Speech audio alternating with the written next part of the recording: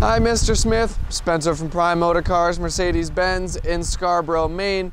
Beside me is the vehicle you inquired about. I understand you're a little out of the ways here, so we wanted to put together a video tour, show you the ins and outs of this vehicle, kind of bring it closer to you. So, our exterior finish in a beautiful lunar, lunar blue metallic. This is our GLC 300 Coupe.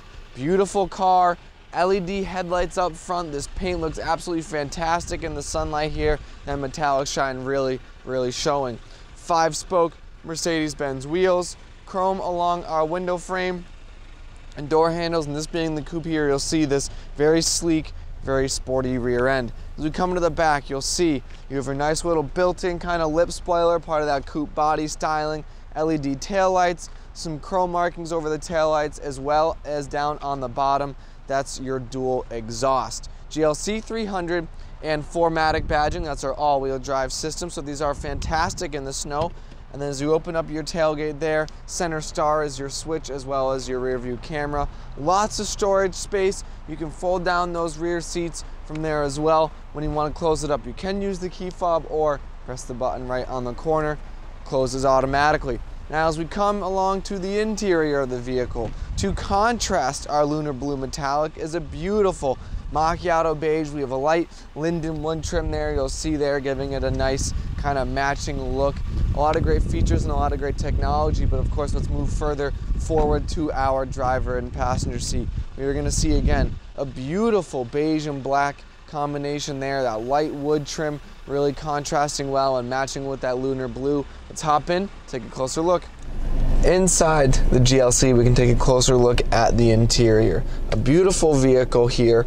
Um, we'll start with our center console. We have dual, dual zone climate control, shortcut button operations here, and then touch wheel down on the bottom. Navigates through our phone, multimedia. This is a smartphone integrated vehicle, so we do have Apple CarPlay.